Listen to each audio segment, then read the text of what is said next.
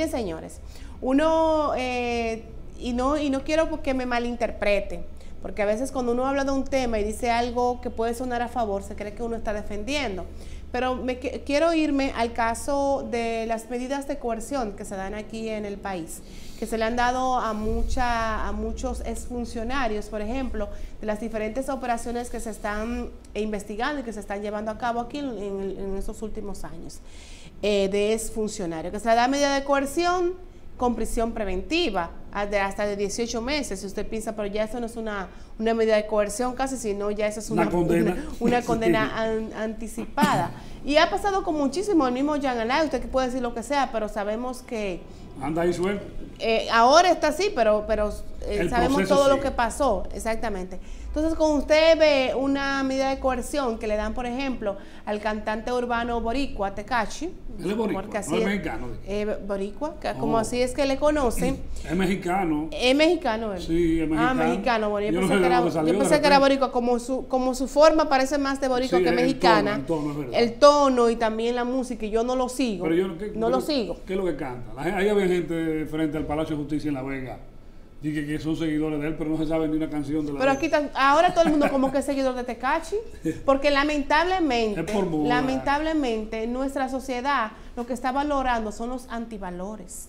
Lamentablemente este muchacho, este joven, puede venir de dificultades en su vida y por eso tal vez ha pasado por diferentes situaciones, pero ha estado involucrado en las peores gangas.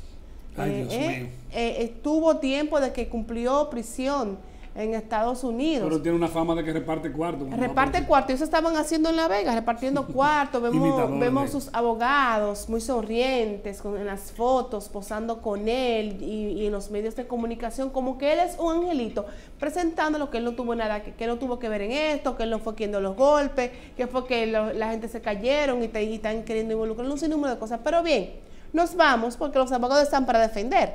Nos vamos a la parte de, lo que se le ha dado. Se le ha dado una medida de coerción de presentación periódica y, también lo que es una garantía económica eh, y tratarse psicológicamente.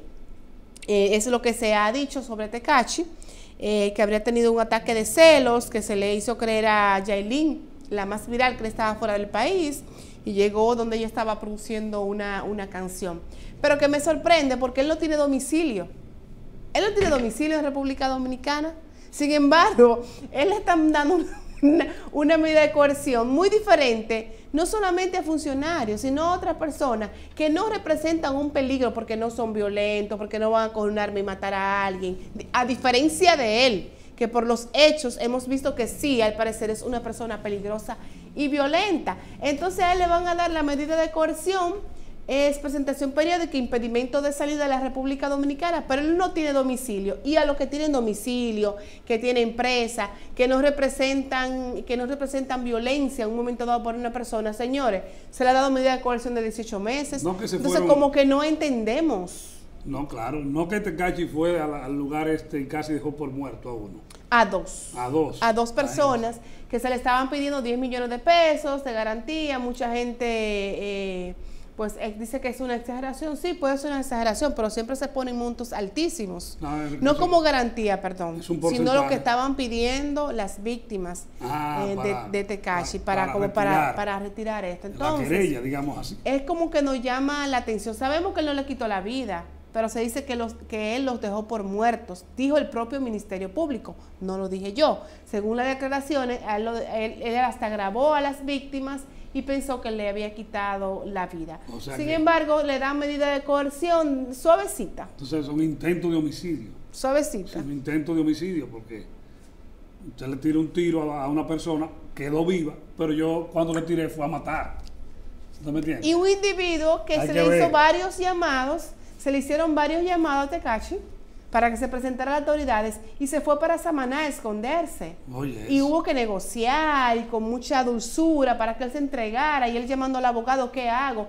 O sea, todas esas facilidades, si él no se entregó cuando se le hizo el llamado, él puede representar un peligro de fuga o estoy equivocada. No, no, sin embargo, no Sin embargo, señores, miren la medida de coerción que le dieron. Pero esto es República Dominicana la gente está en los medios de comunicación mucho defendiéndolo, hablando bien de Tecache, no sé si que le tiene miedo, no sé si se ha tirado los, los, como él sabe tirar pesos, porque va a los barrios, es costumbre de él venir aquí antes de estar con un Jailin y tirar dinero de todas formas en los, en los barrios, y por eso tiene tantos seguidores. Así es.